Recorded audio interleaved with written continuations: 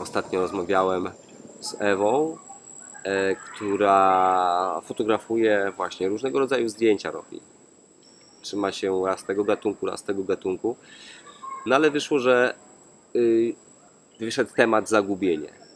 I mówię Ewie, że spróbuj sfotografować w przestrzeni domowej nawet zagubienie, tę emocję. Zrobiła świetne zdjęcia. Nie wiem, czy zrobiła to w tydzień, czy 4 dni. Tak krótki czas. Wystarczył jej, żeby zrobić około 10 bardzo dobrych zdjęć. E, Te 10 fotografii, które wykonała, przebiły wszystko, całe jej portfolio, które zrobiła wcześniej. Przynajmniej według mnie. Ponieważ zobaczyła siebie, e, swoje emocje w, tym, e, w tej przestrzeni, której e, fotografowała i, złapała te, to, złapała. Właśnie to jest to, żeby, żeby coś sfotografować lub sfilmować, to trzeba złapać tę emocję stąd, którą ja czuję.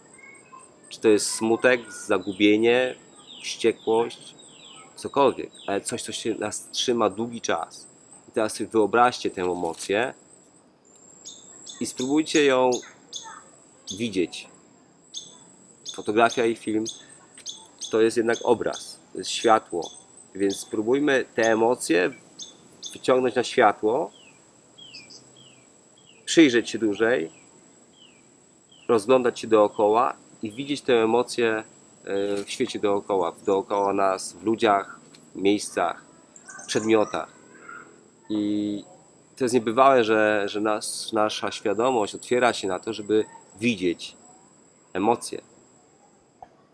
I myślę, że fotograf, filmowiec, który potrafi pokazywać emocje, swoje emocje, e, jeśli je złapie w rzeczywistości, te, te, te swoje emocje, tą swoją emocję, czy emocję jedną, czy wiele, jeśli je zobaczy, no jakieś zwierzątko, jeśli zobaczy tę emocję, którą czuje tutaj, to jest wszystko. Nie trzeba nic więcej.